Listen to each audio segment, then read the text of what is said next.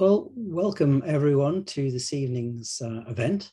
Uh, my name is Martin Postle. I'm just going to, before I start to, to introduce tonight's event, I'm just going to wait a moment or two while people enter the, the virtual room, uh, the, the, the, webinar.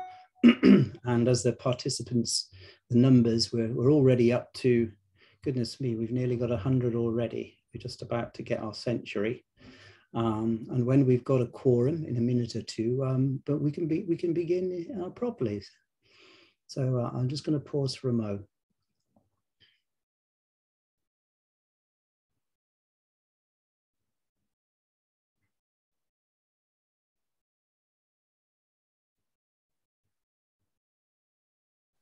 I think we're ready to go. Thanks, Martin. Okay, lovely. Well, good evening uh, and welcome to this evening's event, the Pevsner Architectural Guides Birmingham and the Black Country. Um, before I say a few words of introduction, there are a few little housekeeping things that some of you will be familiar with, but I, I will say them anyway. Um, the talks are going to last about 45 minutes, although we're not, we're not hugely strict about that. And we're going to follow it by some uh, Q&A, some questions, some comments. Uh, you can type uh, questions into the Q&A function, which is the thing that, that, that is really useful. So if you have a question and at, at any time, you don't have to wait till the Q&A. If, if something occurs to you, then you can pop a, a question or a comment in there. Uh, the session's recorded and it's made available to the public. And as it says on your screen, closed captioning is available and you click the CC button on your screen to enable the captions. Okay, so uh, I think without further ado, I just want to say one or two words um, in terms of uh, pre preliminaries. Uh, I'm Martin Postle. I'm Senior Research Fellow at the Paul Mellon Centre, and it's my great pleasure to welcome you to this evening's book launch, Birmingham and the Black Country, which is the very latest addition to the Buildings of England series, otherwise known to many people simply as Pevsner Architectural Guides, or even just Pevsner in recognition of their creator and founder, author Sir Nikolaus Pevsner. The series was inaugurated in 1951 and initially published by Penguin Books. The research and the titles were supported latterly by the Pevsner Books Trust and from 2012 to the present day by the Paul Mellon Centre for Studies in British Art and published, of course, by Yale University Press. Before I introduce this evening's speakers, I just want to say a word about the Paul Mellon Centre for those of you, and I'm sure there will be some, who may not have come across us before or know precisely what we're about. The centre is part of Yale University. Uh, it was founded in 1970 by the art collector and philanthropist Paul Mellon. We are an educational charity and we take pride in publishing and championing new ways of understanding British art history and culture as well as publishing, we teach, we carry out research both at the centre in London at 15 to 16 Bedford Square and through our online platforms, increasingly over the past couple of years, obviously, due to unforeseen circumstances. Our archives, library and events program are open to researchers, students and the public. And I'm pleased to say that we're now beginning to see to welcome visitors in increasing numbers back to the centre as restrictions ease. In addition, our grants and fellowships program forms an important part of, of who we are and what we do. It supports institutions and individuals with research projects, publications, exhibitions, and events. And through all the areas of our work, we promote activities that enhance and expand knowledge about all aspects and time periods of British art and architecture. And so to business.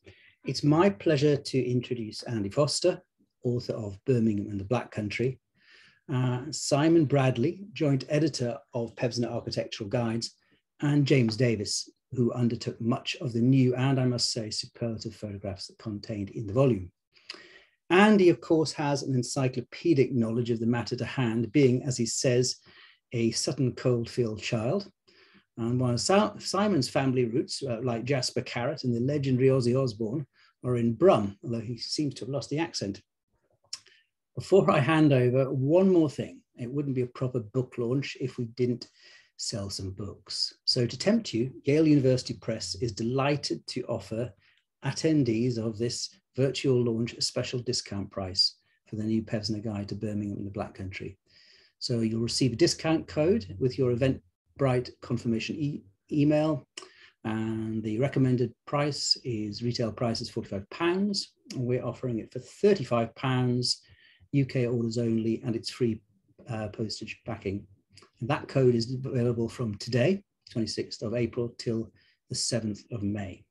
And full details are available on our website. So end of the advert. And uh, Simon, I'm going to hand uh, over to you.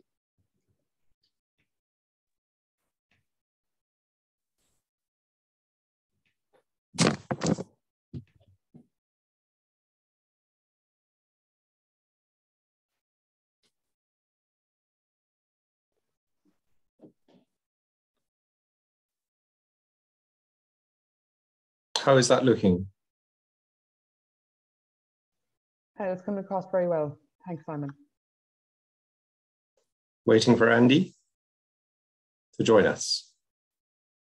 I'm here. Yeah. yeah. Hello, Simon. And yes, very good. Great, you're both on screen now. Thank you very much. So um, welcome everyone to the West Midlands, wherever you may be. Um, and our thanks to Andy uh, for giving us this uh, magnificent compendium, um, one of the fuller and larger volumes of our recent series. And I should say, uh, for those who have been following the series, uh, or for those who haven't, that Andy was previously uh, engaged with us to write the City Guide to Birmingham. So that's the centre of Birmingham and, and uh, selected areas round about. But this, of course, covers a much, much larger territory. And um, we're going to talk about some of the uh, regional, uh, well, particular places and general themes that come out of them just by going through uh, 15, 20 or so individual uh, images from the book. Um, and one that isn't from the book, that's important, that's the very last one, and you'll see the reason. Uh, and we're going to start not in Birmingham, but in Wolverhampton, uh, so Andy, the, the Wolverhampton Cross, this is really pretty well where it starts in terms of standing structures, isn't it? Well, it is, yes. Uh, this is this is really the only Anglo-Saxon piece we've got in the area, but it's a mighty and tremendous one with some remarkable floriated decoration, which has engaged various researchers over the years. It stands in just outside Wolverhampton St Peter's Collegiate Church, um, and it, it roots the whole area in a period well before you know, other, anything else would do. Um, indeed, we start with Wolverhampton because in the Middle Ages, Wolverhampton was a far more important part, place than Brum. Birmingham was a little market town turning to industry. Wolverhampton was already a, a, pretty important town based on wool. Um, and presently we'll see a little bit of, of, what happens when we turn around because there's a splendid collegiate church behind it. Um, I, do have a great affection for Wolverhampton, and, and, this guide has produced a slight change in loyalties for me. Um, I'm, I, am a Brummie, really. I, I, Sutton Coldfield was where my father's job moved to. Um, but, but I think I, I, you know, these days I tend to rather, rather have great affection for Wolverhampton. It's the most underrated big city in England and it has an enormous amount to offer the visitor uh, in terms of historic buildings if you will only search them out. Um, and they start with this, this, this absolutely splendid Anglo-Saxon monument. So shall we see another one? Oh, yeah, yeah. That that um, th this is where we go back to, in a sense, my school days and old-fashioned sort of antiquarians books that were in the school library. Um, the church antiquarian J.C. Cox called this the most splendid stone pulpit in all England.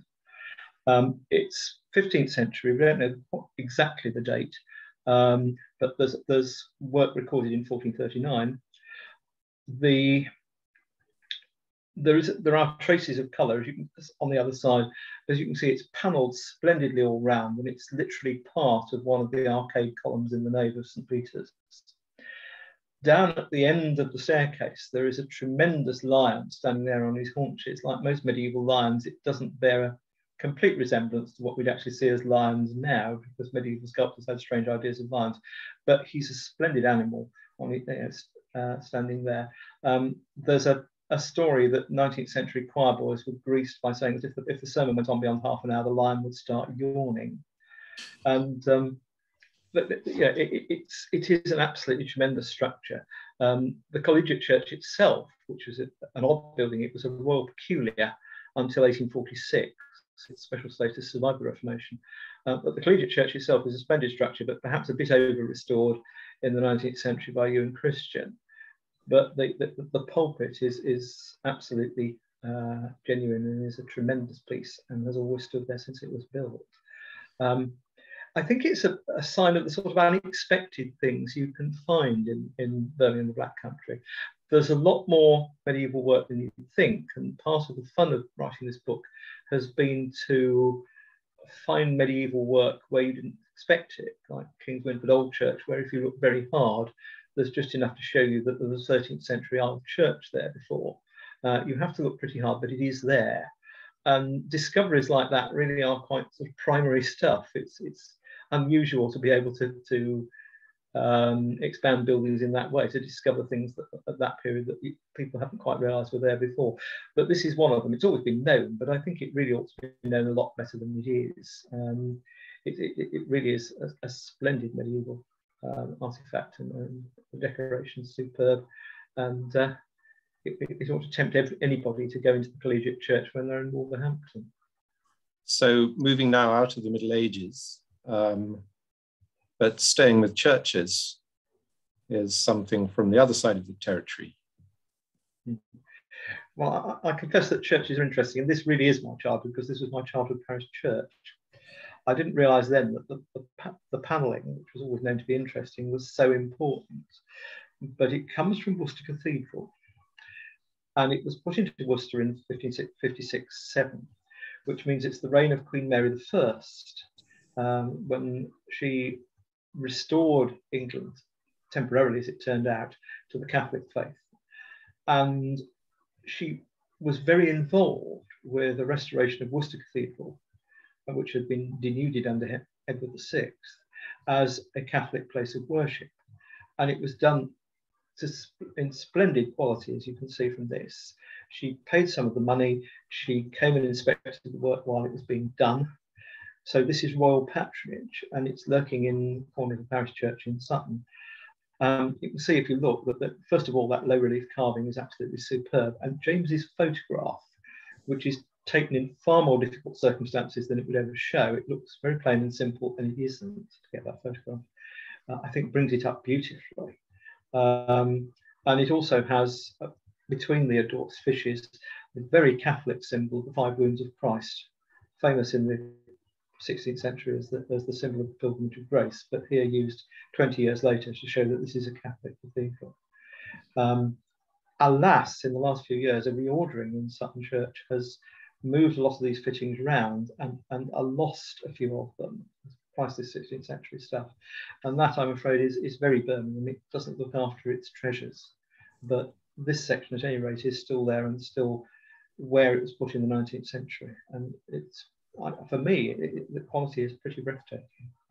Well, staying with things made of wood, um, West Bromwich Oak House. Now, those dates are um, not the length of time it took to build, but those are the um, sort of terminus dates for the uh, tree ring dating. So, as with pretty well all of our books now, um, when we publish a new volume, we're able to include uh, the results from dendrochronology, from the dating of buildings from, from the timber fabric, and always transformative.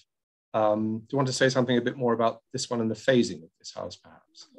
Well, I think the phasing now, people think the phasing is probably much closer together than, than, than we thought a while ago. So it was, it was generally thought to be built over quite a long period of time, but, but the dendro dating suggests that it was all done over 20 odd years. So essentially, it's a single design. What actually take, always takes me about it, it's a black country habit. There was another splendid one in Wednesbury at Oakeswell Hall, which came down in the 1960s, is that wonderful timbered belvedere on the roof. Uh, it's, a, it's, a, local habit, and uh, it was clearly meant to, to indicate status. And the, the marvelous um, sort of crisscrossing of studs is, is decorative stuffwork is, is, is quite extraordinary. Um, otherwise, it's a, it's a particularly splendid example of the timber house of the time. There's, there's two complete setbacks. Um, a lot, a loads of studying.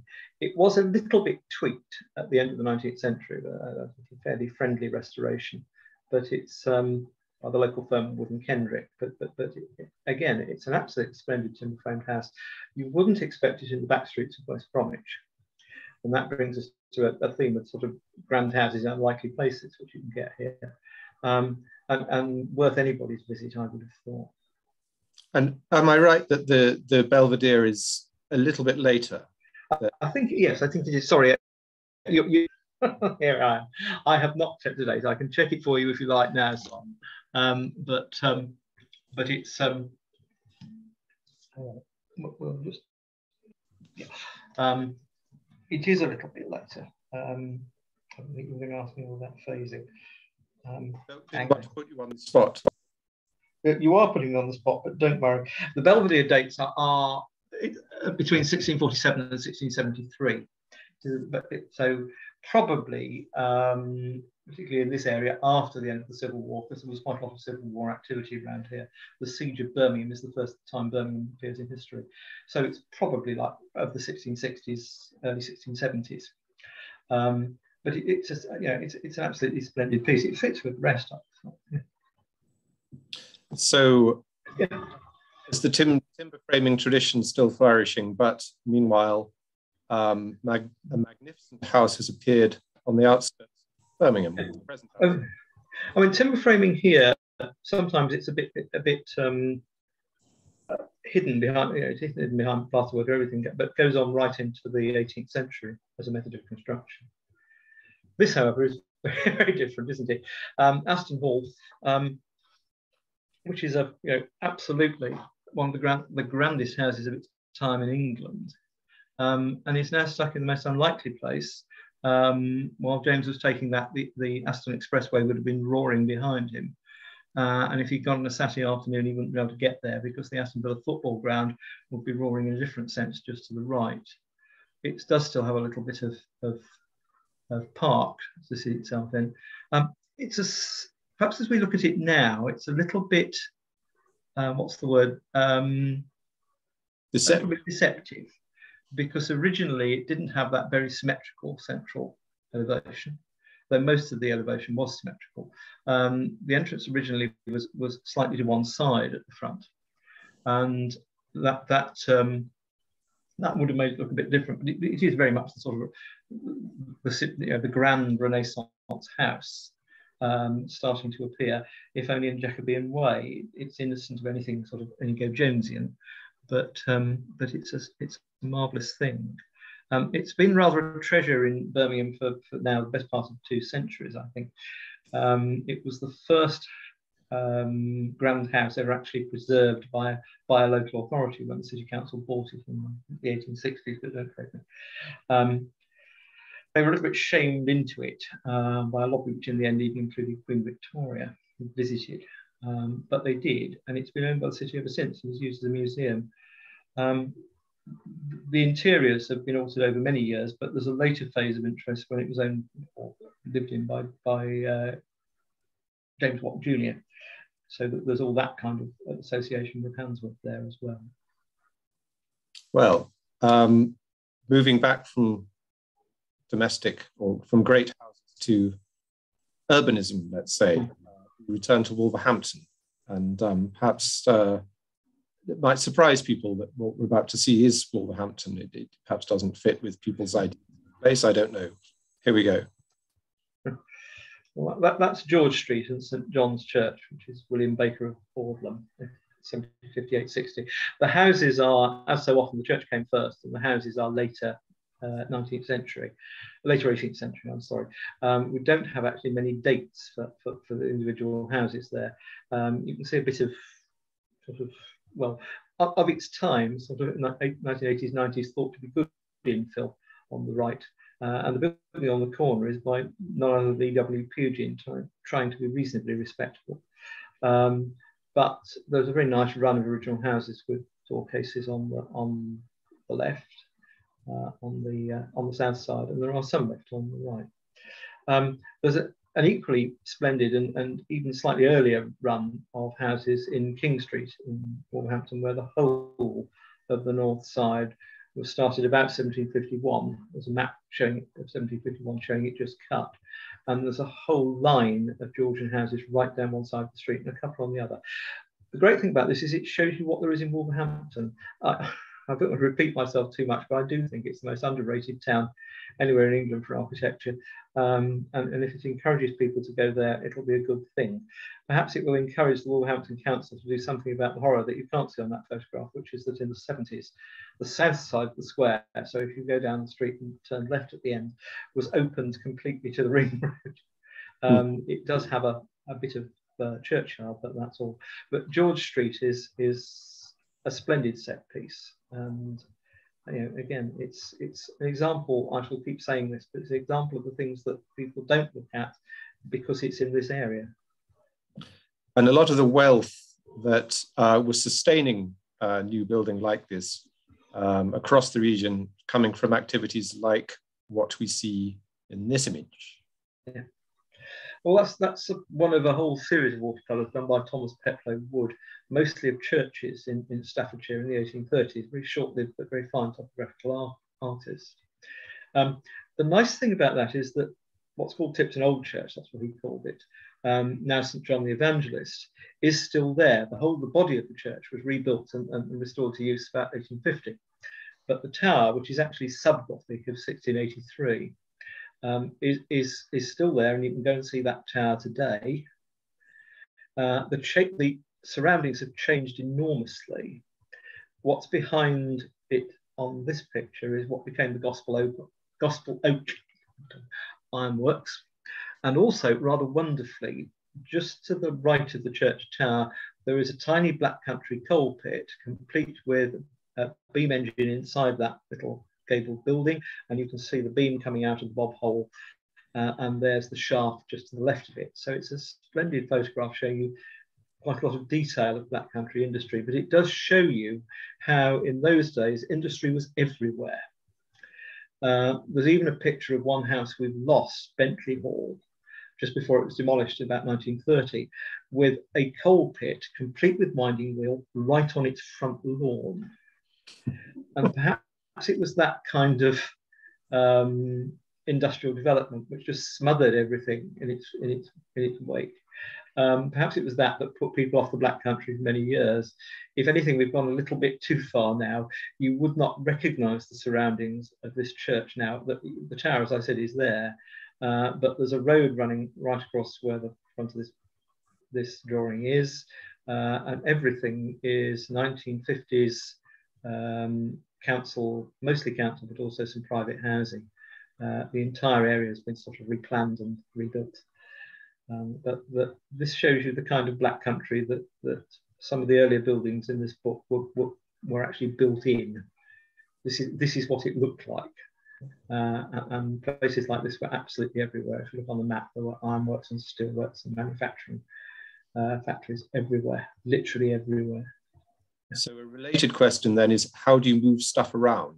And this uh, uh, shows us one um, installation from all that. Well, curiously, ah, I was going to say just before we move on to this, curiously, there is in fact um, a hidden canal on that Peploe wood drawing between the church and the and those factories. There is actually a branch canal, otherwise you can see it on the maps. Um, but this is how they move things around. Um, this is a little bit south of here, uh, south of the Black Country, it's South Birmingham. Uh, but this extraordinary device was built at the junction of two canals. You just see the junction house in the far background of the photograph through the gap of the lock.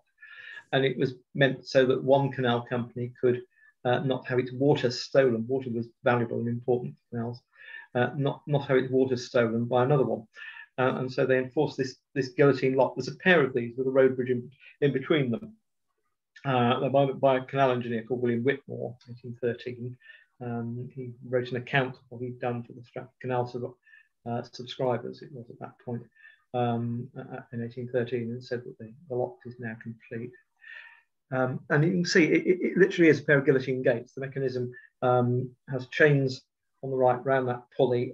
There's a big pendulum pit in that brickwork on the left hand side where a great weight goes down so that it, it, it works like a pendulum system so it's easily the, the, lock gate is easily raisable and lowerable. It is used, not much these days, but if they wanted to um, shut off a length of canal, they will drop the guillotine gates and they, and they still work. It's all but unique. There's a couple of ruined ones left on the Shrewsbury Canal in a shocking state. Um, but otherwise, this, this extraordinary gate is, is, is quite unique. It's quite a shocking thing when you see it. If you drive down the road and peek over the bridge parapet and you suddenly see this contraption, it's, um, it, it, it's um, really quite a shock. But it does remind you, this is even in the southern suburbs of Birmingham, Kings Norton, that Birmingham had this, and the Black Country had this huge canal system. Everything worked by canals. Even when the railways came, they used canals for short distance transport and they had transshipment basins, of which one does survive in Wolverhampton. Uh, canals were absolutely the essence of Birmingham Black Country industry. Main lines like this and little branch, branch canals that went round factories and into all sorts of places. So many have disappeared and been completely obliterated by modern replanning and regeneration that you don't realise how many there were. Uh, and then you come across a splendid monument like this and you suddenly realise um, how important and, and, and how tremendous occasionally canals could be. And almost contemporary with it, uh, this is actually the image on, on the back jacket of the book uh, from the Black Country side. We're, we're back to polite architecture. Hello. Um, I don't know if it's the same as yours, but but half of William Brooks's name seems to have disappeared off, off mine. Um, just said it, so people can people can. Yeah, it's William, William Brooks of London. Um, it's a, a, complete rebuild of, of one of the two ancient parish churches of Dudley, St Thomas, always locally called Top Church, in 1815 to 19. It, I'd been to Dudley more times than I could count when I was young, uh, but I'd never been to Top Church till I started writing this book, and I can still remember my total astonishment when I walked into this sumptuous and marvellous interior. Um, it, it's late Georgian Gothic, as so often, if you look at details like piers and the vaulting, if you're going to find a source, it's probably sort of decorated Gothic or something like that, but the window tracery is perp. There is a big east window with its original um, Georgian um, painting style, um, painterly stained glass by Joseph Backler. And just below it, there's a wonderful frilly reredos with little spires at the ends, which encloses a, a relief panel of St. Thomas recognizing the risen Lord by that significant but not that well known early Victorian sculptor Samuel Joseph. It's, it's very much a Joseph piece with his characteristic braided hair on the St. John the Evangelist figure.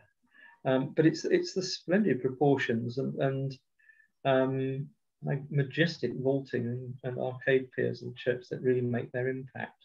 Um, it's just as you can see, um, had, had a bit of reordering. Alas, it's involved the move of the nave pews, which were Victorian but had a bit of Georgian work left in them. Um, but at least it means that the church will have a future. It was very, very sticky at one point because Dudley has become a very sad town. Uh, it's lost its shopping to Merry Hill. Uh, it's through no fault of the councils. It's it's it's in something of a decline, and it is good to see that St Thomas now has a bit of a new life. Um, and hopefully that will still mean that those wonderful decorative features at the East End on this splendid structure will still be there. If you go into Dudley, this is only the, the inside, but you, the spire is a landmark from miles away. It's right on the Black Country Scarp. And there are places over in South Birmingham where you can look over and see the spire of Top Church if you know where you're looking. So it, it's a major monument.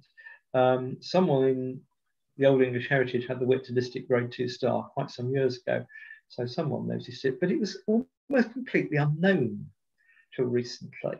Um, I remember talking about it to a well-known conservationist um, not long after I'd gone in, and he made a detour to, to look at it and rang me up the next morning and said, It's marvellous, isn't it? And it is. And it's the same story, really, as the pulpit in Wolverhampton or the Georgian streets.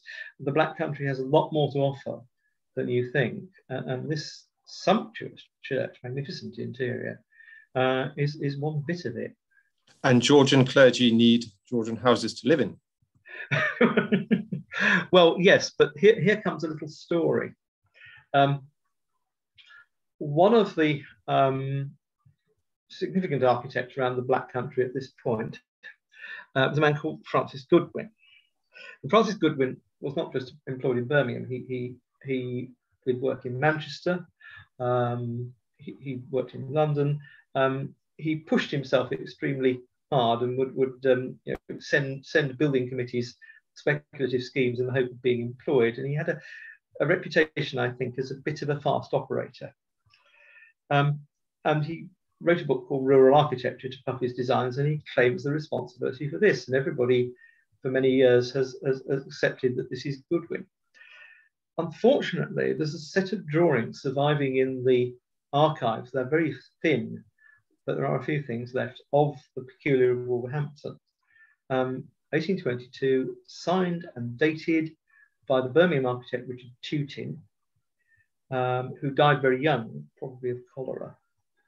Um, and there's an affidavit even by, by Tutin saying that he he designed this design, this building, and you know, this design is his in, in strong terms. So it's actually by Tutin.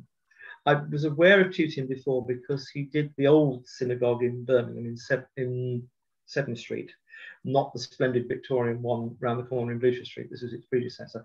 And if you go inside there, there's a wonderful Greek revival niche, which was originally the niche for the, for the Torah scrolls. So I knew he was good, but this this is a remarkable design. It's it, Pevsner says it's a bit out of the ordinary, and I've kept that word because it's almost a box, but it isn't. It has that recessed front. As so often with neoclassical designs, it's got wings that push forward, and the centre is slightly recessed. Um, and, and you've got a rather careful use of two orders, one for the porch at front and then the major giant order going around the building. Um, so it is it is quite a quite a tightened and impressive and, and considered design, um, but it's not by Francis Goodwin, and it's rather curious, sort of 200 years after he did it, to discover a bit of architectural passing off. uh, I'm not saying it wouldn't happen these days, but um, but it but it did happen in the 1820s. Well, Tutin, because by the time Goodwin would never do such a thing. Oh yes, thoroughly upright. Pearson. Yes, we, we better move on, haven't we? This is just put in to show how many Victorian churches there are in in the area. That, that it's a major area for them. Um, and this is one of the most splendid, J.L. Pearson, St Alban Highgate. Um, taking a picture from the gallery like this shows, I think, it, Pearson's unusual proportions. He used the open section very well, completely stone vaulted all, all the way through. No, no frilly ornament or anything, but a magnificent structure. Um, uh, and one splendidly proportioned. If you walk into it, it has the opposite effect of Peter's in Rome you think it's bigger than it is. If you start walking up the nave, suddenly you're at the crossing before you know where you are, because Pearson has handled the proportions so superbly. But, it, but we don't just have that, we have uh, some wonky high Victorian Gothic, like churches like St Luke's and Wolverhampton, and then later on was the, the, the arts and crafts masters like W.H. Bidlake. But church architecture is, is important around here because so often in so many communities, the church was the one place for architectural statement and nonconformist architecture too. Oh, yeah. Ah, well, this is this is it's the last remaining really of, of, a splendid series of chapels built in the Edwardian period, the last great period of nonconformity at the time of the, the Liberal landslide of 1906. And this wonderful thing, um, which has um, three uh, has a central dome and two domes either side of the entrance outside, it, it was Methodism triumphant in 1899, 1901. Um, it's recently closed and is now a problem building. But you can see the central dome there, the mosaics. The one thing I failed to find, and I did try, was who designed that wonderful line Art Deco lamps that go right down the, the centre of the chapel. But you can see it's, it's all on, on the grandest scale. Uh, the gallery seating there is, is all original, the, the original pews downstairs. There's an enormous, um, the word's gone straight out of my head, what we call those great long pulpits that go right across the across the end. And then there's a gallery behind it with an organ, um, quite quite important organ. Um, and, and it, it is the last survivor. There were, there were others of this period, and they've come down in relatively recent years. Um, so, so Darlington Street, which was an institution in Wolverhampton even 20 years ago, um, Darlington Street is now a very rare survivor. But you can see the quality of it, the quality of those capitals, the plaster work. Um, it, it, everything was done um, you know, to, to, get the, the, very finest they could. Um, and Arthur Marshall, who's normally um, remembered for designing workhouses, um, uh, responded to this with this splendid design uh, with the dome and the vaulting and, the towers and, and the, the, central dome out and cupola outside. And by this time, the arts and crafts gang are getting into their stride. Yeah. Anyway, it's it's odd that this is only three years after Darlington Street because splendid as Darlington Street is, there's nothing of this about it. This is one of the great Birmingham arts and crafts uh, architects, C. Bateman, Charles Bateman. Um, he and, and, his friend W.H. Bidlake were the finest. Um, and this wonderful house with its tile hanging, all in very carefully diminishing courses, stone tile. Um, it, um, it's not one tile either. If it looks, if the colours look different even now after a century of weathering, it's because there's at least three different stones, Cotswold and elsewhere in it. Um, and it's up to date in a way that that, that, that gable on the left with the, the, the semicircular bay under the big um, uh, the big uh, square gable above it, it, it, shows that Bateman has, has been looking at buildings by, by CFA Voysey think it's the first scheme for Dorney uh, that, that, that, that is the source of that.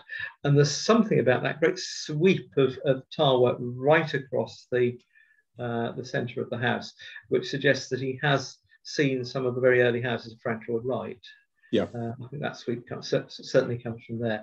Um, so, so there's there's this gorgeous house. You don't normally see this. The entrance front is quite nice, but this is the garden front.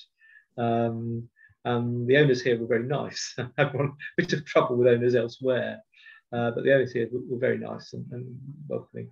Um, so you, you know, there's this marvelous garden front. Um, I don't know what more you can say about it. You just sort of sit there and. and if, uh, if, it's um, obscure for, for, people watching, this is Bryn Teg. Bryn Teg, uh, yes, and it's yeah. Sutton Coldfield. Yeah. Yeah. So, anyway, can't see the can't see. Um, it's happened again. This This is uh, Christchurch Alum Rock and the architect Hobbiss, um, Hobbiss yes. Uh, 1936 to 7. So still arts and crafts, but um, things are changing, aren't they? Well, the Birmingham Arts and Crafts goes on because it it, it, it was very much a, a, a you know, a, a, tradition of designing that comes out of people in, in the 19th century, like, early 20th century, like Lethaby, and before him, Philip Webb. So there's a concentration on, on quite simple forms there's a tremendous concentration on materials, like the stone, uh, the stone tiling we've just seen, and here, absolutely lovely brickwork. Um, and, and, architects specified that in some detail. Hobbiss has a, sig a signature brick bond, um, which is English garden wall bond with three rows of stretchers. And you find it in, in, very nearly all his buildings. But you can see you can bring it up to date with this sculpture by William Bloye over the, over the porch, um, which is certainly sort of influenced by 1920s, early 30s sculptors. Uh, it couldn't be any earlier than that. It's rather hieratic, um, slightly neo-primitive um, approach. Uh, and the great big cross with the Agnus Dei in the middle of it up top. Um, yet, that, yet this neo-primitive sculpture um, is placed in a, in a, porch that just comes out very slightly all round. And that's um, a, a, a, dot of the cap to particularly Worcestershire Norman architecture. These people were scholars, they knew their historic buildings. Uh, and you'll find Norman porches in, in Worcestershire where they, they, literally just come out of the walls slightly, they're framed all round. Um, and that, that's, that's from there. Um, the other thing about it is Hobbiss's curious way of designing, which comes I think from from in the end from Philip Webb, and this is where the blog post has something to say, um, where the pieces, the, the, the, different pieces of the design are very distinct.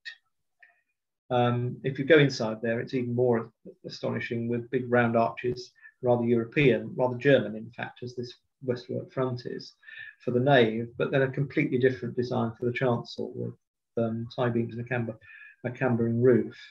Um, and he, he very deliberately has this kind of slightly disjunct creative design. Um, it was the way, the way some of those people did it. Um, but I find it very impressive. And meanwhile, we have something perhaps not quite modern movement, but certainly a modernist aesthetic beginning to arrive. Oh, yes. Well, I think that's pretty close to modern movement, isn't it? Um, and this is another discovery. Um, this is in Sutton, where I was brought up, and I had no idea this house was there till I went down the road um, and had an enormous shock. I wish I'd known it earlier because I was in touch with Red Edmonds uh, before he died. He lived to be 98, was, was um, very sparkling until really, this is, until this is Jack, the end. Jackson, um, Jackson and Edmonds. Um, yes. Sorry, Road. I'm assuming you can see the captions, uh, but it's 10 Beech Hill Road. It's by Jackson Edmonds, uh, 1936-7. They became a very big firm, and, and, some people have been less than kind to some of their later work. Um, Clare Hartwell was was was not kind to their Bury Town Hall in the, one of the in the Manchester volume, but here they were young. Uh, there's a freshness about the design. There's some nice little detail that that's like the scrolly work in the in the uh, balconies the ironwork, which is perhaps the only period feature there is. The Crittall window goes around the corner. Um, and it's remarkably untouched outside. Um, I think the door's been replaced, but that's about it. Um, the Crittalls are all there. The, uh, the, the, rendering looks absolutely gorgeous. It's obviously kept up beautifully. Um, and there's this, this perfect little almost almost modern movement house, sitting among a lot of Tudor and Tudory and Spanishy uh, 1930s houses in a suburban road in Sutton. It really does stand out at you. Um, but uh, yeah, it, it, you, you, might guess looking at it that it's young men's architecture. It's got that kind of freshness to it. Okay, ready for some brutalism? Yeah. Ah, yes. in this sense, this is not local brutalism. This is this is this is uh, national stuff. But Richard Gilbert Scott, the fourth generation, was it, of, of the great family, um, as part of the, the, practice, the practice was still called Giles Gilbert Scott Partners, um, did two splendid churches in East Birmingham. They're in the most unlikely places, Catholic churches though, uh, in the 1960s. And this is Our Lady Help of Christians in Tile Cross. Uh, Tile Cross is part of Sheldon. And, and you can see it has these extraordinary curved ribs that go up almost like like sort of curtains frozen into concrete. Um, great piers on either side. Um, but when you look at the plan, the unexpected thing about, particularly about Tile Cross, and also to some extent about the other church, which is in Sheldon proper, um, is, is how formal it is. Um, there's a sense in which this is this is a, a Beaux-Arts building in brutalist dress, however splendid the brutalist dress is and how convincing it is very convincing.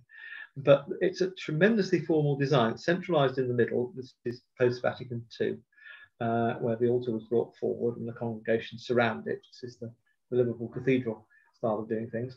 Um, but um, it, it's also tremendously formal design, um, allied with this with this radical use of concrete, expressive use of concrete, which is the you know, hallmark of brutalism. Um, I think it's absolutely amazing. I'm gushing. It, um, yeah. So, so the next one I know is a favourite too, and also of concrete or concrete framed.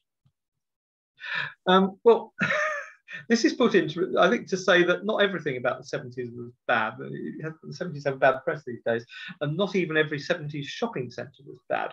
Um, I think we, we, I think you were a bit surprised when I wanted this as an illustration, Simon. And, um, I can understand it because you wouldn't expect it. Um, I've seen the lights is, since. Have you seen the building when we had the launch? It's yeah, the, the way it fits into the town yeah. is very impressive. Yeah. yeah, it's it's ducked in it very carefully into a historic town centre. Um, this is the very narrow, what's in front of it. James must have been right up against the buildings on the other side. Uh, I don't know how he took the photograph. Um, it, it, faces on this side the very narrow high street in, in um, Stourbridge. And um, the other side, in fact, comes out uh, right opposite Parish Church, St Thomas, the Georgian Parish Church. Um, so it has to be on its best behaviour, and it is. Um, and it has all these fun details, like little box out windows, not all the same design, and these very wonky dormers that always sort of go, go lopsided. And you also see that the canopy, where any sort of uh, dull architect would have done it plain, actually has these little V's in it underneath. So every detail is worth looking at. Um, it's by two architects called Vern Crofts and Jeff Daniel of the Seymour Harris Partnership, who were a big commercial firm in Birmingham in, in the 70s and eight, even early 80s. Um, but of the big commercial firms, this is leaving aside firms like John Madin's, uh, of the big commercial firms, they, they really were the best. And I, it's a lovely building. All the jokes still come off, is the way I put it. Um, you know, they, they, they, they meant it to sort of amuse you and, and, lift your spirits a bit. And I think it still does that now. Um, yeah, there you are. Who, who says a 1970s shopping centre can't be fun? Well, I said there was one photo not taken by James, and uh, we're about to see it. So this is a, our last photo in this section. Yeah. You're this is where it gets really rather painful. It's perhaps not the best way to end, but but something has to be said. Um, Birmingham, uh, I, I, had a bit part in this uh, in my past, so perhaps I, I'm a bit one-sided. But Birmingham had a bad reputation in the 60s and 70s for demolishing good architecture and, and completely wrecking the place, particularly because of a, a city engineer called Herbert Manzoni, who frankly said you know, that there was little of real value in Birmingham's architecture and the whole area needed to be new and it needed to look completely different. Um, that, that, was his attitude and that's what we've got. Um, and in the 80s and 90s, there was a, a movement away from that, but we seem now to have returned to it pretty solidly. And um, this is the splendid Central Library by the John Madin Design Group. I think the best building put up in Birmingham in the last you know, well, it's now slightly over, it was going up exactly 50 years ago, but certainly the best building of its time. Um, great, very much the brutalist thing, but again, rather like the Sheldon Church, there's, there's more than a touch of, of formal Beaux-Arts planning behind that building than was. And this is it under demolition in 2016. Um, these are two, they actually sliced through the centre of the great ziggurat, these, these signs that went up, and demolished it from the centre outwards.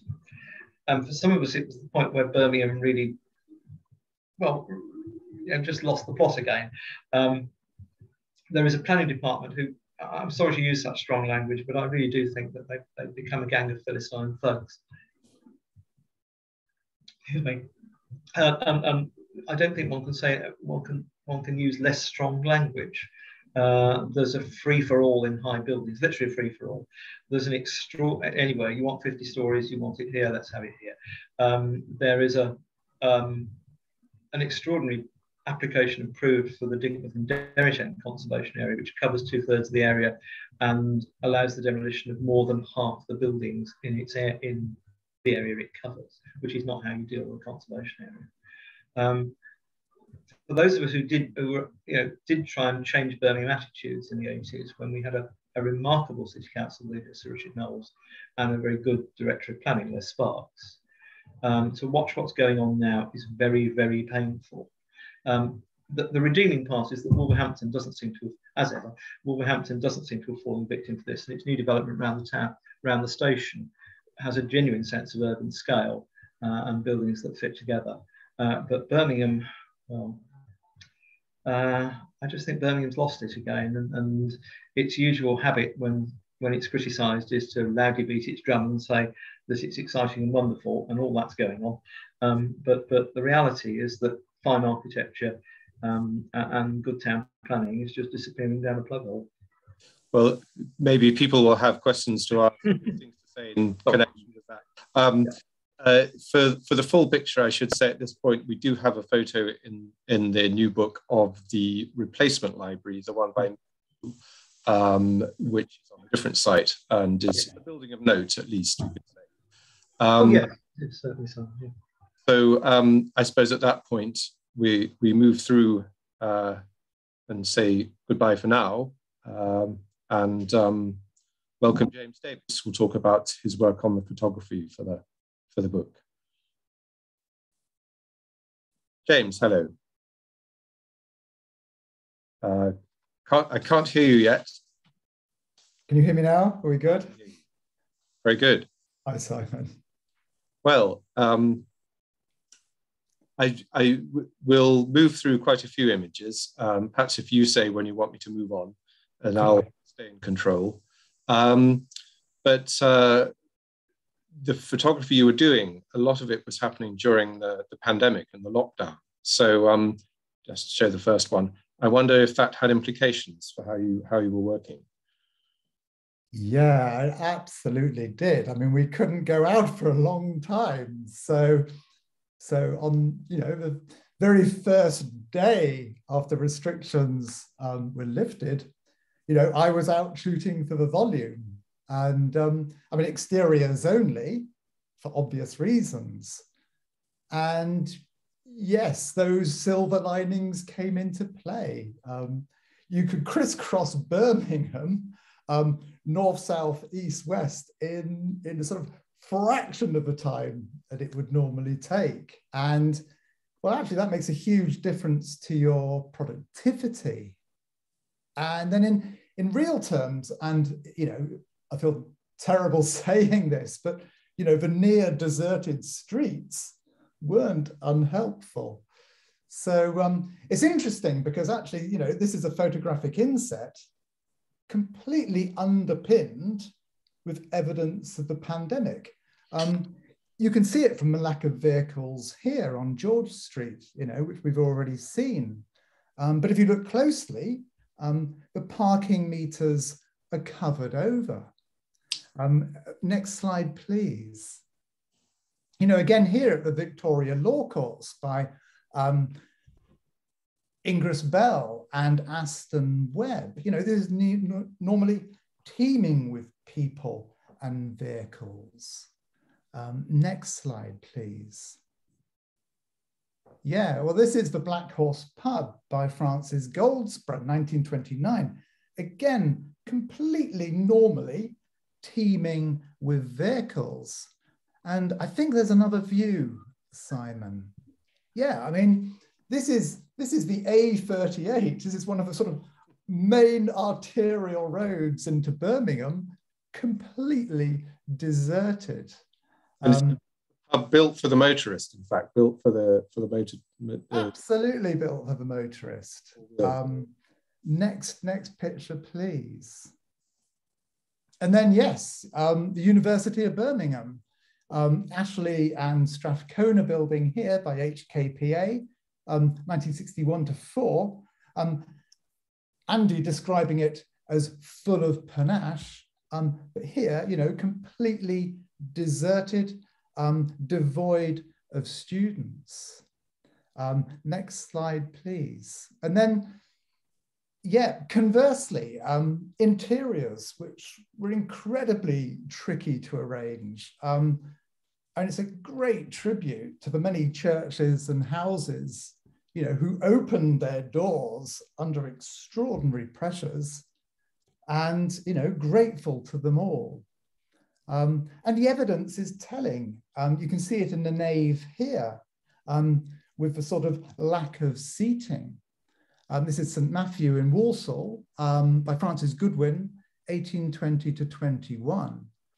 Next slide, please. And just to ask, it's striking there don't seem to be any chairs down there at, at ground floor level. Was it? Does it have stackable chairs? Do you know, or was the things that had? Um, it, no, completely. Um, you know, reordered um, for the pandemic. You know, um, and this was happening a lot in in a lot of churches. You know, the seating arrangements would either have lots of red tape or yeah. um, there were pairs here and frieze there um, and very untidy looking. So those have all been swept back.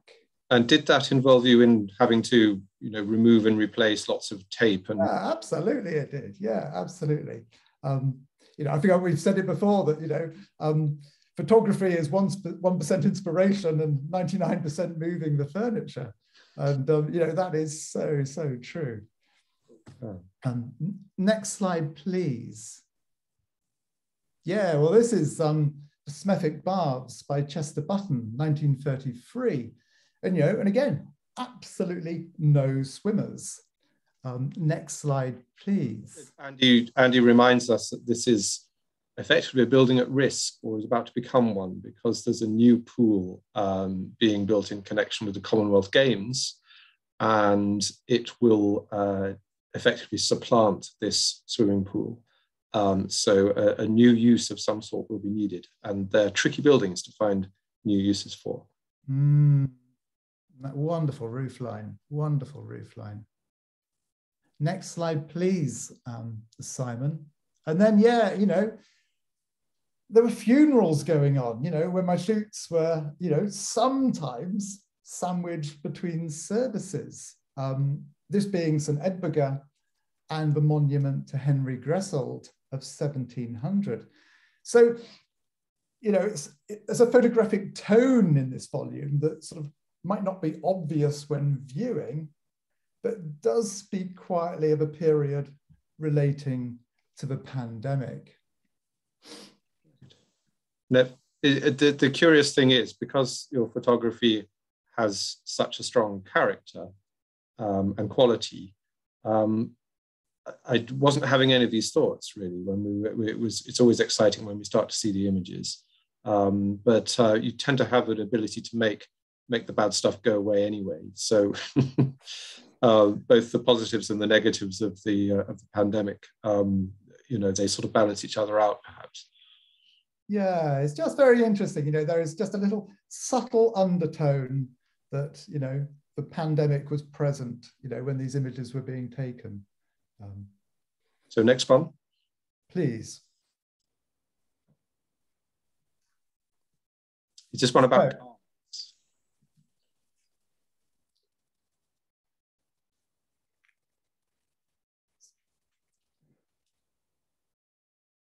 James, yeah. yeah. So um, we're going to talk about cars and um, the lack of cars and the lack of people. Um, and that's just down to patience. Um, and, you know, despite my best efforts, you know, I very often fail. Um, you know, I return again and again to the same building should vehicles, which I think are transient, be blocking the view. This is the mid 19th century Royal School uh, by Joseph Manning in Wolverhampton. And a very good example here of um, where I must have visited five, maybe six times before I got a view without any cars. So, so that actually means um, turning up at the right time of day for the elevation, um, making sure the sky is as you'd want it, and then being defeated by the parked cars. And that might happen even on a Sunday afternoon, midsummer. Um, so sometimes, you know, it's, it's the images that you don't take that lead to the success, um, if that makes sense. Um, next slide, please, Simon. Yes. Um, this one's not in the book, is it? this isn't in the book. The building is. Um, and I just wanted to put this in because you know it it shows that you can occasionally encourage cars to move on. Um, this is the Legal and General Assurance Building by Cook and Holman, uh, 1931 to 1932. And it's a really difficult shot to light because facing northwest, there's only a narrow passage of time when the sun hits the elevation before dipping behind the buildings opposite. So um, it's central Birmingham, um, parking spaces at a premium. The shot has to be taken between 5.30 and 6.15 in the afternoon when the light rakes across the frontage. So any cars, as we can see here, are going to completely ruin the shot. Now, on the left, I've got the ubiquitous white van. Um, I'm standing in the foyer of the office building opposite with a security guard who's given me 15 minutes. So all I can do is ring the number on the side of the van and plead with owner to see if they'll kindly move it. So, so here I'm reliant on three elements. Um, the limited light, the goodwill of a security chap, and the van driver picking up the phone um, and hopefully um, being encouraged to move the vehicle on. And have we got the next picture? It worked. Yeah, it, I got lucky. You know, I got lucky. The driver, the van driver picks up the phone. He's sympathetic to the cause. And it's those equal parts, you know, all combining to finally bring a picture together and, and making and making all the difference. Mm. Excellent. Yeah. Um, should we talk about churches or have we other yes, churches? Good. And the question of lighting again, it's it's so often about light, isn't it? It is. You know, um, with almost every church, um, I'll try and weigh up the tonal range to the eye and then try and compute the equivalent to the camera's sensor. And, you know, they're very different things. And to then render the information equally may or may not determine whether I need to add extra light.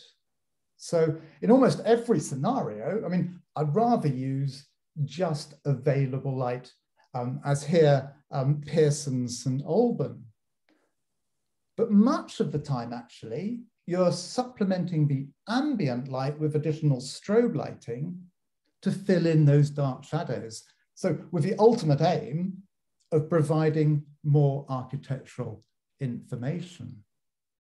Um, next slide, please. So just uh, to, for those who don't don't uh, know the mysteries of the craft, um, with where if you're supplementing the artificial, sorry, the natural light there, are you placing equipment in various positions around the church, or is exactly so? Exactly so. Um, and sometimes that can be quite blatant, as we're going to see in the next picture. But usually it's quite subtle and just in very isolated shadow areas. So next slide, please, Simon. Yeah, you know, photography, of course, has its own language. And what I'm trying to do is eke out as many layers as possible. And, and sometimes, you know, that has the effect of flattening the image. Um, as we can see here, uh, this is the Oscott College by Potter and Pugin, 1836 to 1837. And you can see that lack of depth. Um, next slide, please.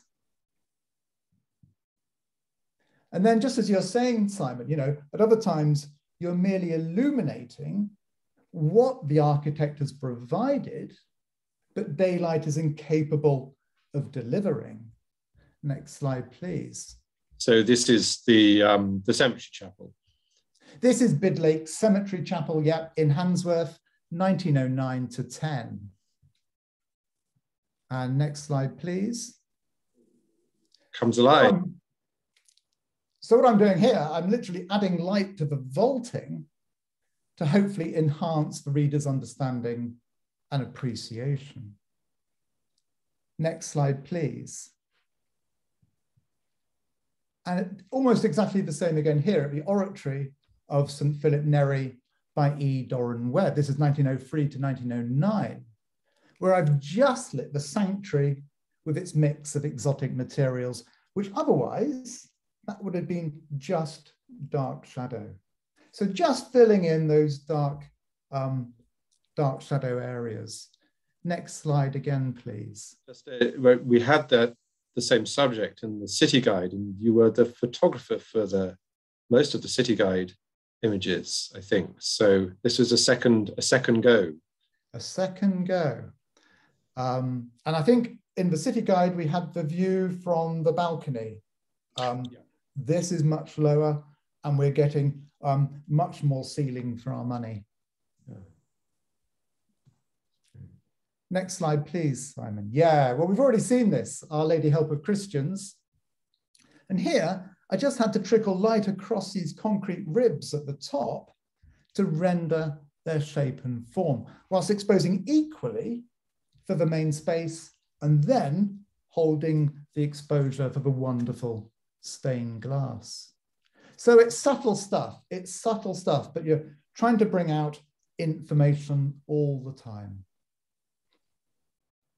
And while you're in these churches to take one shot, usually, um, the, the opportunity to take some additional shots, not even necessarily alternative shots, just, you know, do some good photos must present itself. It, it does. And you know, if I could flip that just slightly um, and quote Andy Foyle, actually, you know, author of the Bristol City Guide and North Somerset volume. And he used to say, sort of, I wouldn't photograph any subject um, unless I could make it work, um, meaning, can I do justice to the building? And that's really important. You know, it's, it's actually how the front cover of this volume came into play. Um, you'd asked me to photograph Holy Trinity Church in Heathtown, Wolverhampton, um, but it proved nigh on impossible given the surrounding trees. And, you know, I completely failed. Um, I failed with lots of other pictures too. Um, but walking from the church, um, could we have the next slide, please? Yeah. Walking from the church, the spire here, you can even see it being set off with these wonderful almshouses, also by the same architect, Edward Banks of 1850. So very much an image created here from one that completely failed. Um, next slide, please. Yeah, I mean, another example of tree coverage. Um, this is the Galton Bridge in um, by Telford, 1829, where I chose to shoot it specifically in winter when the tree coverage, you know, the tree canopy was much less. So um, it's, it's allowing some element of transparency. Um, and then in order to read the bridge further, I photographed it at twilight and then lit it with an array of lighting from various positions. Um, in the end, actually, um, next slide, please. So I just, that's quite a lot of kit then, is it? Uh, are we... Um... Yeah, it, it's a lot of kit and I'm parked about half a mile away. Um, I've dragged the first set of kit on site, um, hid it, um, gone back to the car half a mile, back with the second load half a mile, um, and then start creating, um, starting to make an image. And then, and then pack up, take the photograph, and reverse that process. So having having to hide some of it again in order. Indeed so. Yeah. Indeed so. You must have um, um, felt the lack of an assistant sometimes. Indeed, indeed. But you know, um, next slide, please for the book, Andy and I kind of discarded that image um, because we felt that this Telford Bridge, this is the Engine Arm Aqueduct, um, 1827 to 9, with these wonderful sort of delicate proportions, actually did a much better job. Um, next slide, please. I then also sort of take the opportunity to photograph further elements of the building, you know, knowing well, A, there'll be a useful record, and B, occasionally being used instead of a shot being asked for. So this is Richard Twentyman's uh, Emmanuel Church of 1954 to 6, where the general view was chosen for the volume. Um, but next slide. That didn't stop me sort of recording these wonderful um, altar candles and next slide, please. And of course, the sanctuary itself with this paneled walnut. So those extra shots, you know, they're important. They're, they're, they'll be a good record. Next uh, picture, please. And then this is St. Alphege in Solihull, rich in so much stained glass. Um, I'm recording the Arts and Crafts glass here by Bertram Lamplugh, but in the same chapel on the north side, um, next slide, please. So just as you, this is, I think, the first Solihull subject to come up, and uh, people are, are, often interested in the boundaries and the divisions of our books. Um, the long story really, but uh, we had to divide Warwickshire. We couldn't try and put Birmingham and Warwickshire into one book, and it didn't seem to make good sense to split Birmingham from the Black Country either. So we have ended up with a book which takes from three historic counties, uh, from Warwickshire, chiefly Birmingham, uh, then the Staffordshire and Worcestershire, historically parts of the Black Country. But Solihull was the sort of leftover because um, it seemed to belong with Birmingham in, in so many ways. And uh, it also made a better balance for the size of the book as against the Warwickshire book. So that area uh, of Solihull district, which is on the Birmingham side of the motorway, if you're, if you're keeping up, um, is included with this book. So it is Birmingham and the Black Country and a bit of Solihull, if we were being terribly literal. Next slide. Next slide. So we had that wonderful glass by Bertram Lamplugh, but yes, in the same chapel, um, this wonderful glass window out of the Pilgrims Through the Ages by Lawrence Lee. Um, these wonderful two little panels at the very base, um, which I've blown up either side. Well worth um, going to look at.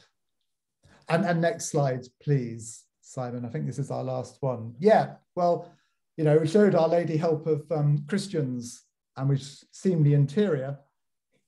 Here's a detail of the exterior, you know, these thrilling, sweeping copper ribs rising up. So, um, you know, it does go to show, doesn't it, just how difficult, but how well judged composing a photo inset can be. And um, I'd certainly like to thank you and Andy um, for your great skill in providing such comprehensive riches. So um, yeah, thank you very much. Thank you.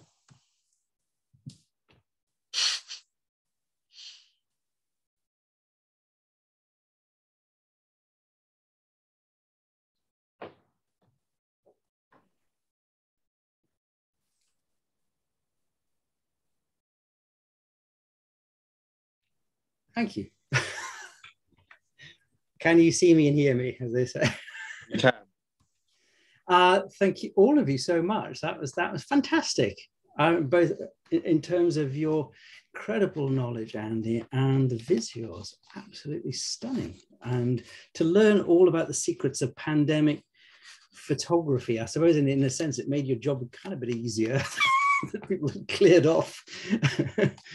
but uh, it was uh, extraordinary because it's something that you know we would take for granted that, that, you know buildings will be cleared. And you know imagine you have a whole crew of people bossing people around and telling them to move their cars and do god knows what. But it's not like that of course in real life. There are people because buildings are about people for for better or worse.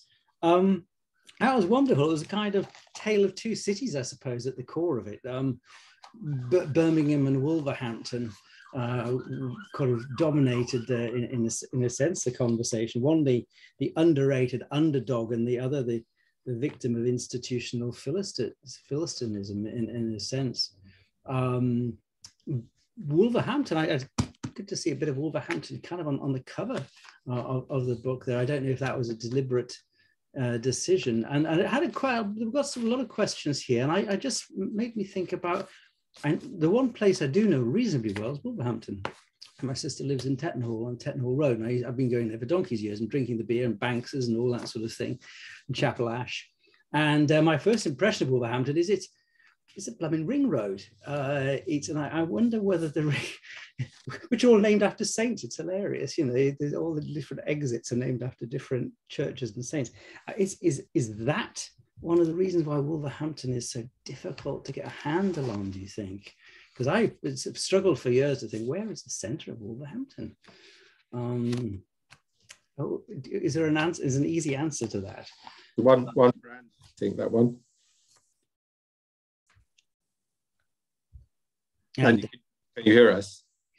As a great, as a great Wolverhampton, I mean, you know, I'm a great fan of Wolverhampton, Andy. It is the reason why Wolverhampton has, as you say, it, very rightly been underrated.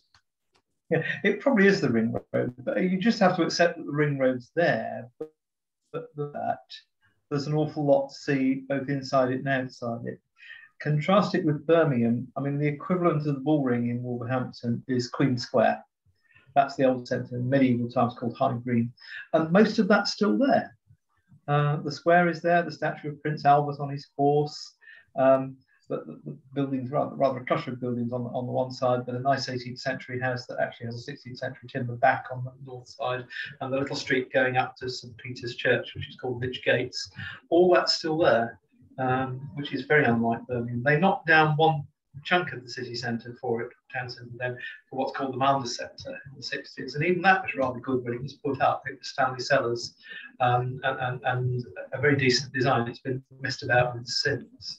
But a lot of it's still there. There's, apart from the Georgian townscape, there's some splendid Victorian townscape in, in Lichfield Street roundabout.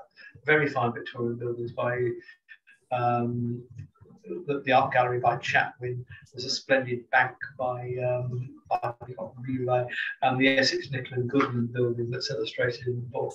So there's there's half a dozen streets of splendid Victorian art, um, plus plus those Georgian survivals. And do you think that the, the, the town, apart from the ring road, that the town planners in Wolverhampton have been rather more sympathetic than their equivalents in, in Birmingham? Oh yes, far, far more.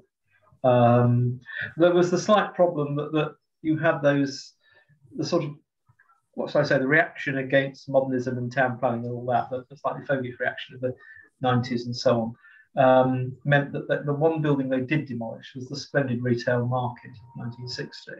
Um, which had concrete shell vaults, the only one in my, the only ones in my area, uh, but were so modest in scale that you know if you wanted challenging architecture that was fre- also friendly, that was it. But otherwise, under um, it's then gone straight out of my head. The wonderful, the wonderful Wolverhampton planner. Um, who, did this? I'll, I'll, it'll come back in a moment.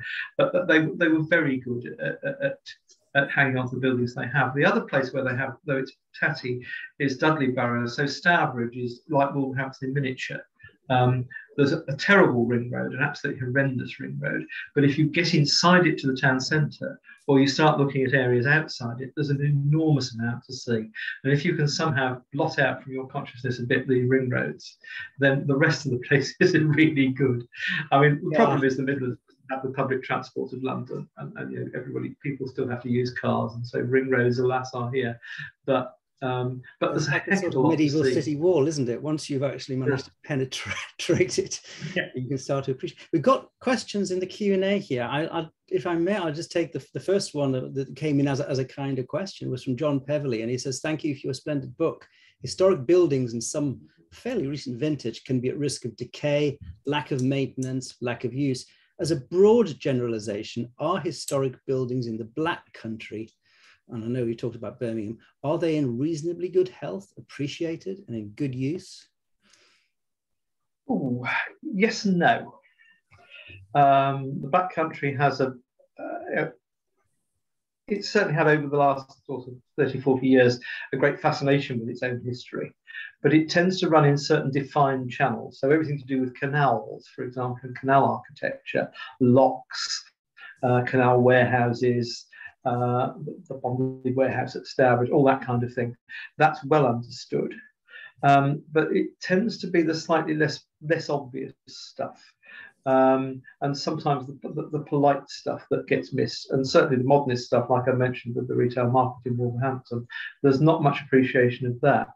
Um, but the, the, traditional, what's left of the industrial architecture and the canals, then there's a lot of feeling for that and, and, and that kind of tradition. There's a bit about, obviously, the Black a conservative way and others, conservative small c way and other things. So churches are always a thing. The church is the centre of the town or village in the Black Country, um, which is why I think I did so many church descriptions and Simon started to think they were getting out of hand slightly. Um, but but that's the way those those little towns and villages work. Um, and it is a village scape still. People know from which community they came uh, and they know its history. Uh, they know its little local authorities, which disappeared in the 60s. While I was writing the book, there was a celebratory meeting. Was it 40 years since the extinction of Amblecote Urban District, which was the smallest of them all? But 40 years after it disappeared, people still wanted to celebrate it. Quite a party.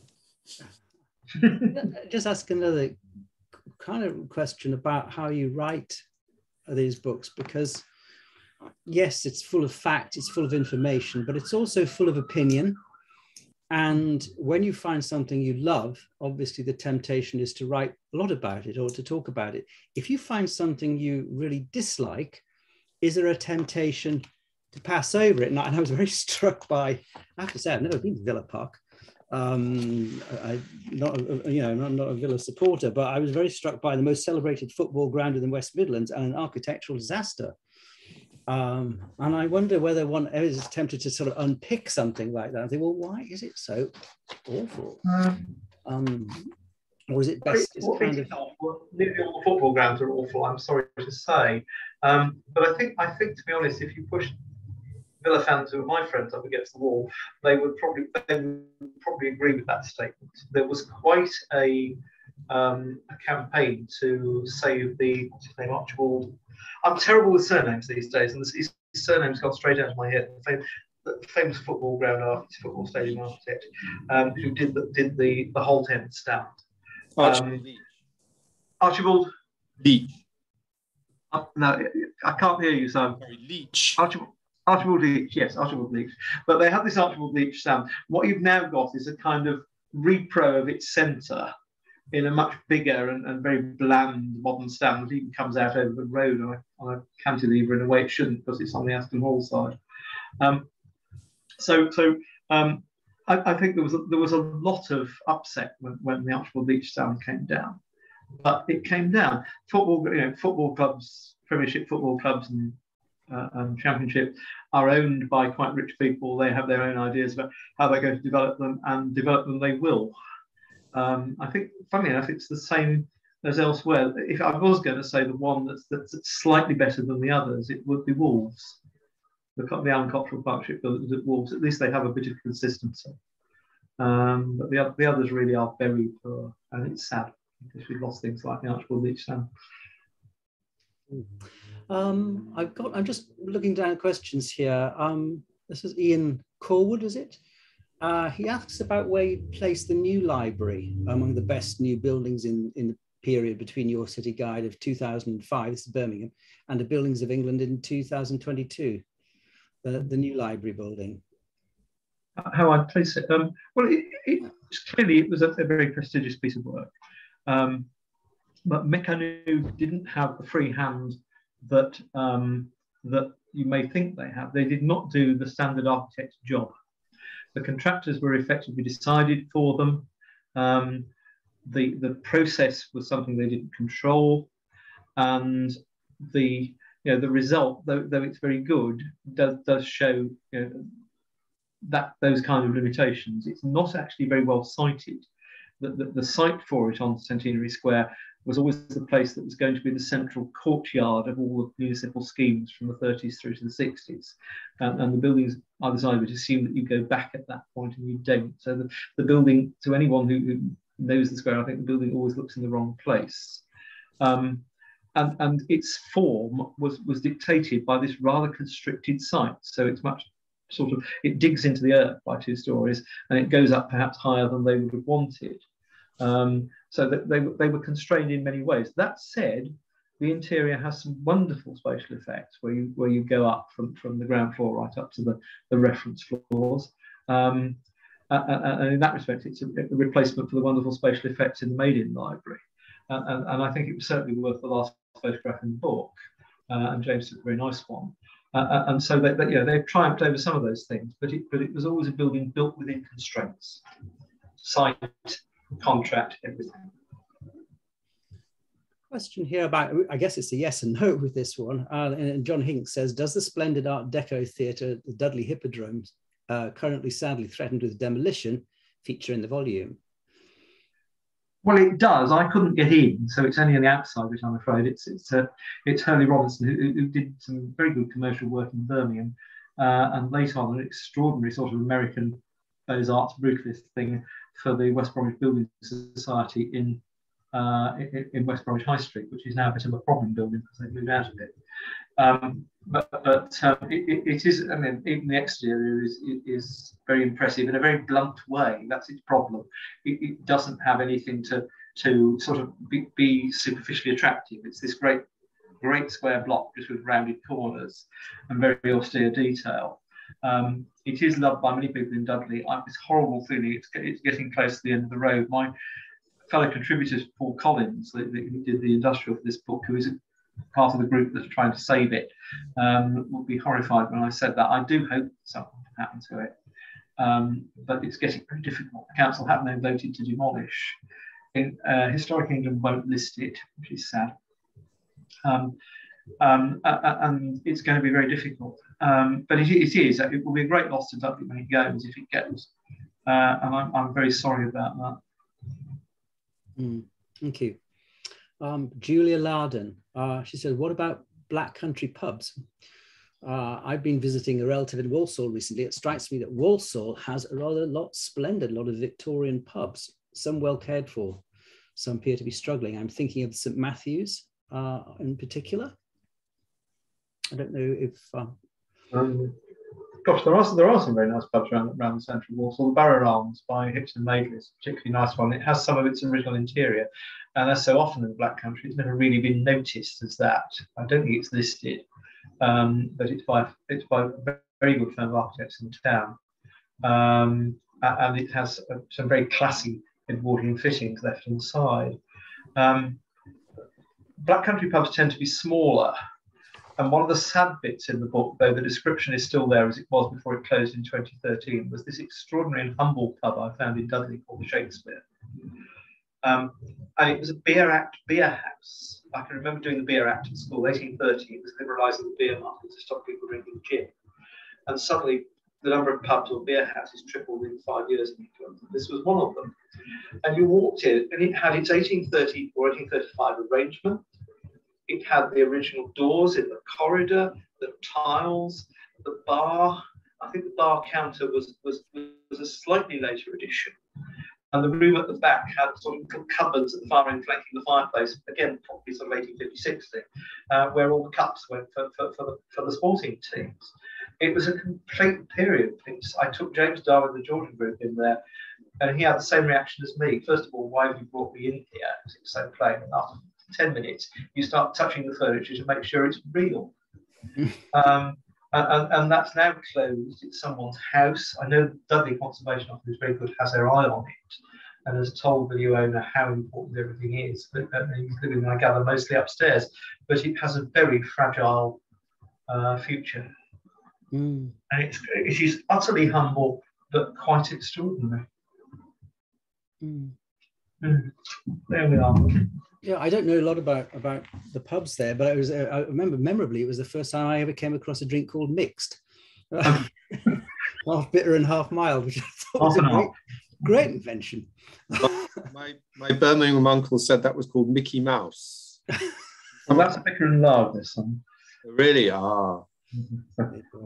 Um, and then, can I ask on behalf of uh, Stephen Richards? It's a it's an uh, interesting question. I never thought about it. When you start writing these guides, do you start with Pevsner's words, or do you start with your own and use his uh, when you see fit? Speaking of mixed. Um, it was a bit mixed in Birmingham because when we wrote the city guides, we were encouraged to take a new look on to, on the building. So there isn't a great deal of Pevsner in it. And then those got carried over to the new book. Um, but it won't look like it um, in if you read it. But, but, I think everywhere else, every other church entry started with Pevsner's entry um, and then got really quite knocked around and extended and altered. I don't think the Black Country was Pevsner's happiest place to be. Um, he wasn't alone in that. It, it, really has been, you know, it, it, in the 1960s and early 70s when he was going around, it was still a very dirty and industrial place, and he mightn't have found it very attractive to visit. And the buildings were covered in covered in dirt as well, so they weren't always as attractive as they ought to be. Um, so a lot of things had to be written there, and, and even round Brum, he seems to be having a bit of bit of an off day Bickenhill was my one rural parish, and I thought it would be easy going. And I discovered that his entry is all about, two, it runs two theories about the church, neither of which, alas, stand up when you look at it very closely. Um, and, and, so that had to be rewritten. Um, but honestly, Pevsner is at the bottom of this, as is Alexandra Wedgwood for Birmingham. Um, it may not look like it, but it most certainly is there. I can remember when that book came out. And I, I said at the launch when Alexandra Wedgwood was there, I still have my I still have my original copy that I bought when I was a schoolboy. And it's in a shocking state, but I've still got it. It's much cherished. Indeed.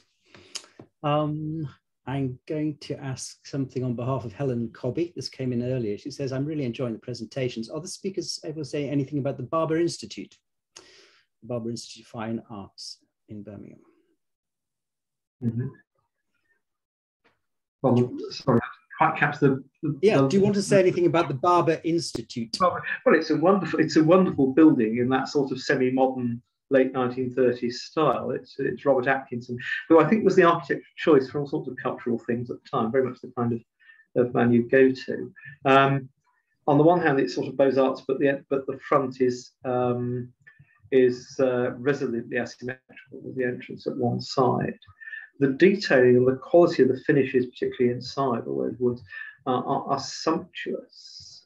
Um, and it has some very nice sculpture outside by Gordon Herickx from the Birmingham Group, who, who I, I, was very glad to find one other piece by him in Walsall, which is lettering but gorgeously done. Um, and, and, that's a that's a little extra. How he came to know of Herickx, I don't know, but he was a very fine sculptor. Um, but yeah, it's it's it's a lovely building. The only problem is the is the roof, which Professor Hamish Miles insisted on putting on it in the 1980s, which I wish they'd take off because it apparently hasn't worked. Um, but but yeah, um, otherwise it's it's wonderfully kept up. Um, and it's also a sad place of Birmingham now. It's I think it's also the art gallery of choice. Twenty years ago, I'd have taken a visit to see pre-Raphaelites in in the town centre, and now I'd taken to the Barber. Yeah, it's it's. Uh, I, am not going to get on the subject of Birmingham Art Gallery um, because it's a fantastic collection. There's no doubt about it. But it has been through the wars. There's there's, there's no doubt uh, about it. But uh, both. I mean, one of the reasons why Birmingham is, you know, England's or Britain's second city is because of the quality and not just the buildings, but the art and the culture. And it's extraordinary from that point of view. We're going to wind up in a minute or two, but I just wanted to ask Simon and James if there's anything you wanted to add or say or comment upon before we, we wrap it up? Well, just, just on that last question, we, we have included a photo of the Barber Institute.